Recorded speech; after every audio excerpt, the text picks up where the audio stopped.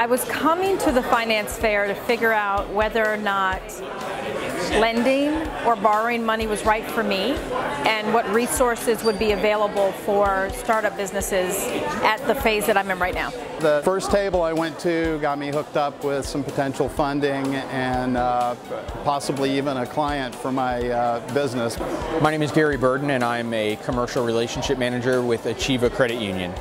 It's important for us to meet with small business dreamers, entrepreneurs, uh, students within the USF family uh, to talk to them about what they can expect when they start to complete their business plan and approach lenders uh, with the hopes of financing.